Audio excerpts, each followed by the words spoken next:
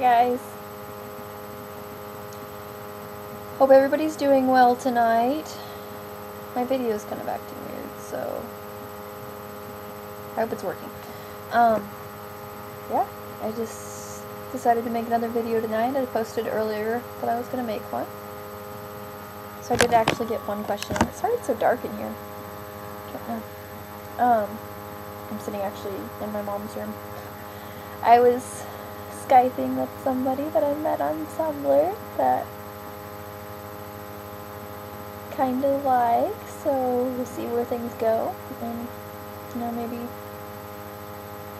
I'll talk about her sometime, maybe. Let's see. Um, yeah, so it's been a pretty good day actually. Um, see, this morning I had some oatmeal and I mean, I guess I guess I've been doing a little better now um, with talking to people on Tumblr, and so I'm really like committed again to gaining weight, which weight restoration sucks really badly. There's nothing I think that could be worse than it, and seen a couple people's videos on it, and definitely um, it does. You know, I don't even know how to explain it. It's the same as if you tell a normal person. I've heard this. Tell a normal person to lose weight. That's what it feels like. Like people with eating disorders, like telling us to gain weight is super super scary and stressful and takes way too much work. But telling us to lose weight, like we're fine. We can do that. No problem. Absolutely no problem. I wish it would quit being so dark. Um. But yeah. So I'm kind of been struggling with that a little bit. Um, actually lost some weight. Lost a couple, not gonna, just a couple pounds, but I'm not gonna go into detail. Like, part of that is from my slip that I had, and so I'm trying to stay back on track. Um, I'm supposed to be eating, I told you guys before, 2,200 calories a day, and I know I haven't been meeting that, and so really need to get my butt gear and start doing that because I want to get healthy and I want to be at a healthy weight. Like, my big thing is I really want to be able to exercise again, and I promised myself until I get to what's me and my doctor have set as a healthy weight for me, um, then that's when I can work out and that's when I can exercise. And I mean, I'm a I love running, so I really want to get back to running, and it's something I really miss doing. But I learned along the way with my eating disorder that if I allow myself to exercise, I'll take it to the extreme. So I need to be healthy before I decide to exercise, and then have to be really careful while I'm exercising because I don't want to go down that path again for anything to go wrong because I kind of dug myself in pretty pretty deep hole and it's not been easy to get out of, but definitely working on it and something that I put my mind to and I want to do. Um, I want to be able to move on with my life and not question every little calorie I put into my body and that's just such a pain to do like I mean I even though I'm really trying to not count calories like so ingrained in my head that I'll do it no matter what and I mean, I know exactly how many calories I had for dinner, even though I didn't look at the side of what I was eating at all.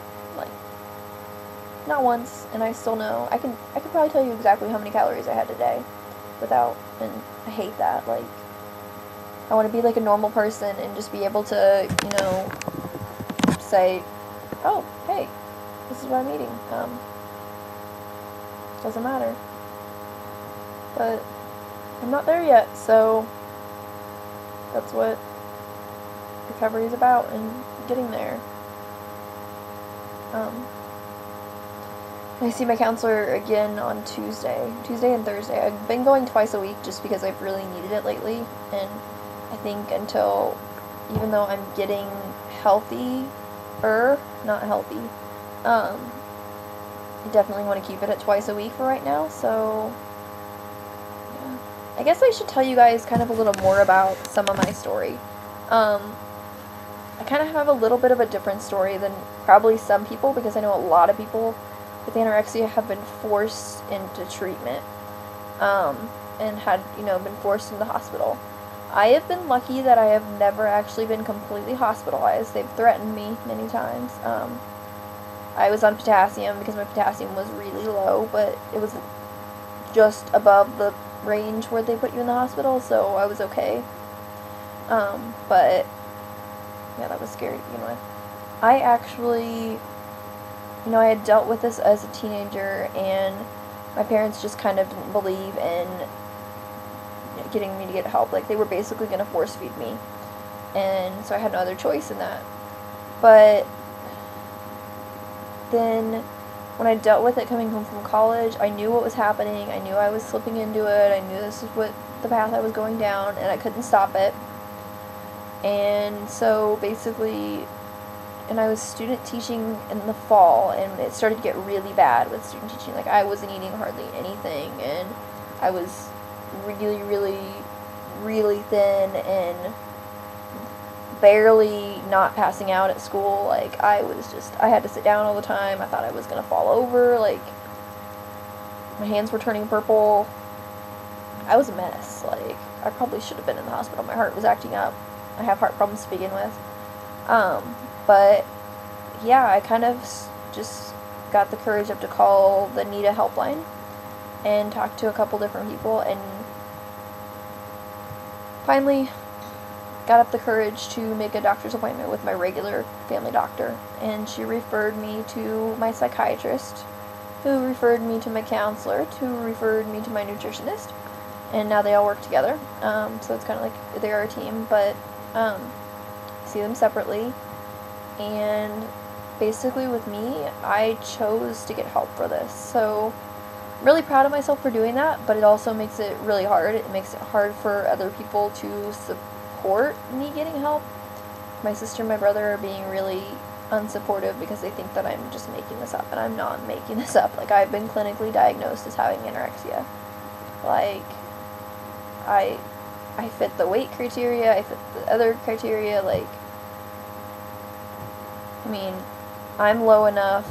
This is probably, this. I'm hoping this isn't triggering for people.